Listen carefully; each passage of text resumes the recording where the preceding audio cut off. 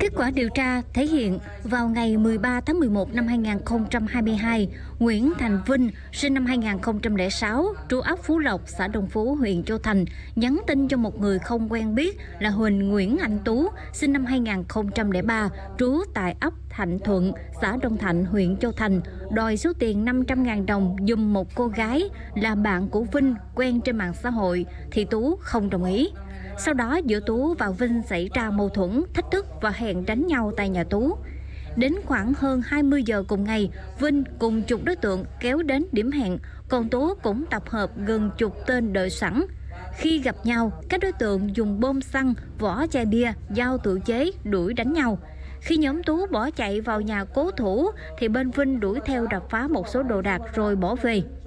Sau khi củng cố hồ sơ, cơ quan cảnh sát điều tra công an huyện Châu Thành khởi tố Vinh, Tú cùng 13 đối tượng về hành vi gây rối trật tự công cộng, trong đó tạm giam 7 người và ra lệnh cấm đi khỏi nơi cư trú số còn lại. 2022,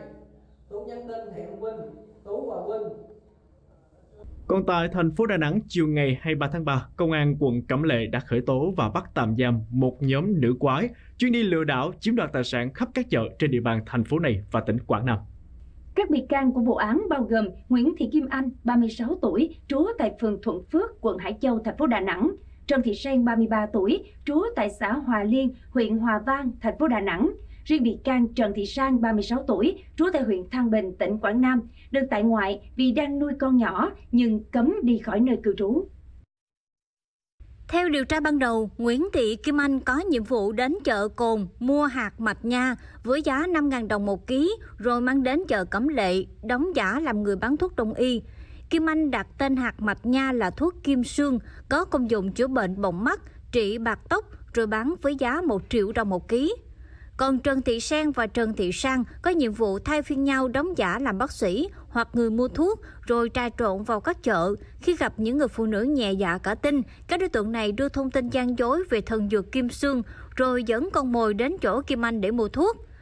Với chiêu thức này, các nữ quái đã gian cảnh lừa đảo ở các chợ trên địa bàn Đà Nẵng và Quảng Nam, chiếm đoạt của nhiều nạn nhân với tổng số tiền trên 250 triệu đồng.